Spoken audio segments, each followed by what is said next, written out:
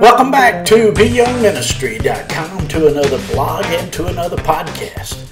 Today we continue our study of the Gospel according to Mark. We're in chapter 14, verses 32 through 36, which reads They went to a place called Gethsemane, and Jesus said to his disciples, Sit here while I pray. He took Peter, James, and John along with him, and he began to be deeply distressed and troubled. My soul is overwhelmed with sorrow to the point of death, he said to them. Stay here and keep watch. Going a little further, he fell to the ground and prayed that, if possible, the hour might pass from him. Abba, Father, he said, everything is possible for you. Take this cup from me, yet not what I will, but what you will. That's Mark chapter 14, verses 32 through 36. Today we return to Mark chapter 14, where the Lord Jesus has just told his disciples that after his crucifixion, they will all run for their lives. In so doing, they will deny their association with the Lord. In response, all of the disciples pled that they would never abandon the Lord. Of course, the Lord already knew their hearts and their actions. And this is why we love Him so much. He knows us better than we do ourselves. And yet, He is still committed to us. In verses 32 through 34 of today's passage, we read, They went to a place called Gethsemane, and Jesus said to his disciples, Sit here while I pray. He took Peter, James, and John along with him, and he began to be deeply distressed and troubled. My soul is overwhelmed with sorrow, to the point of death, he said to them. Stay here and keep watch. Gethsemane comes from two Hebrew words meaning the olive press. In those days, olive oil was made by taking two stones, an upper stone which would revolve around the lower stone, and anything between the two was crushed. When the olives were crushed, the oil that came forth was gathered and collected and sold. The real value of the olive comes from its crushing. You can eat the olives, but the real value is discovered in the crushing of the olives. This is yet again another picture of the economy of God. The Lord Jesus came to this earth to be crushed for the forgiveness of our sin. In 2 Corinthians chapter 5 and verse 21, we read, God made him who knew no sin to be sin for us, that we might be the righteousness of God in him. The Lord Jesus took Peter, James, and John along with him while he prayed. He left the other eight at the entrance of the garden, but he took Peter, James, and John deeper into the garden because they were leaders. Interestingly, there were two other occasions when this inner circle joined the Lord Jesus exclusively. The first was at the house of Jairus when the Lord raised the daughter of Jairus from the dead.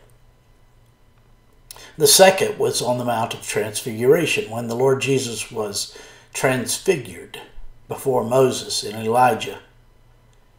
There, the Lord Jesus spoke with Moses and Elijah about his departure. All three of these instances have something in common, and it is death. And here in today's passage, the Lord Jesus presented himself to the Father for death.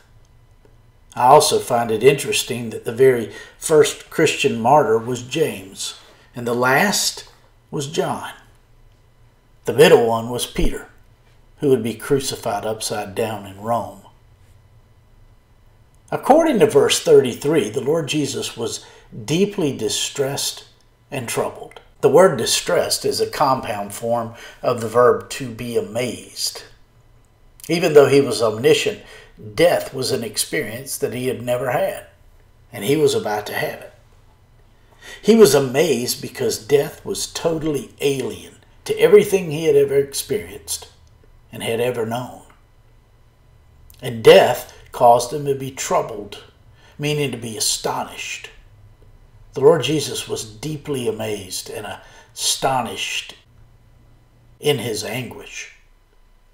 He possessed something that we have never known with reference to sin. He had a perfect hatred for sin. Everything in his being was repulsed by the thought of it. His plea to avoid it was absolutely consistent with his nature as God. As indicated in verse 34, the Lord Jesus was overwhelmed with sorrow, which literally means to be surrounded by sorrow. He was engulfed in this grief to the point of death. He had never said yes to alienation from his father. He had never said yes to guilt. He had never said yes to sin bearing. He had never said yes to punishment.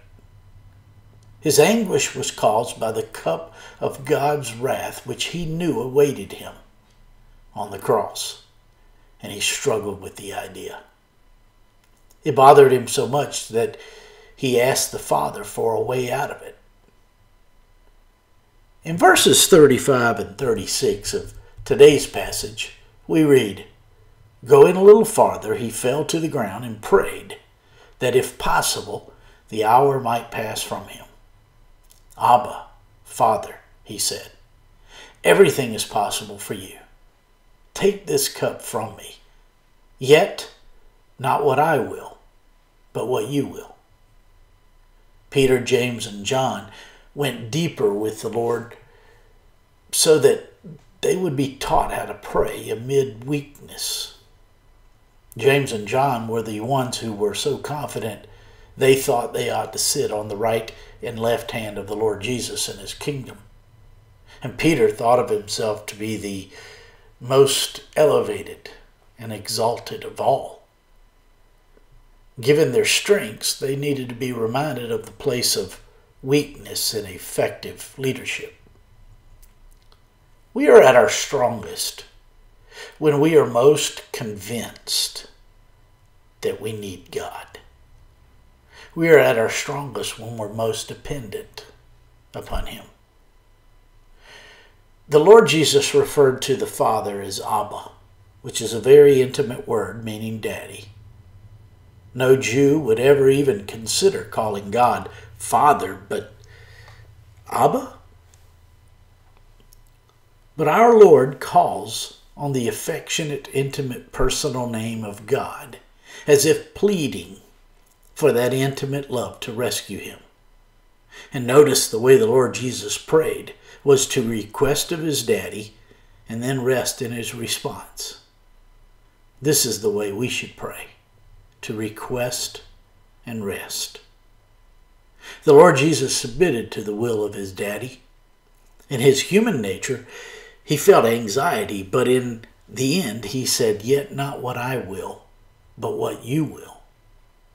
The Lord Jesus submitted himself to whatever the Father wanted because he knew the character and nature of his daddy, that he could be completely trusted with the outcome, even though he struggled with it. My friends, I trust this blog and this podcast are helping you with your walk with the Lord. If I can be of further assistance to you, shoot me an email at byoungministry at gmail.com. Hey, have a great day.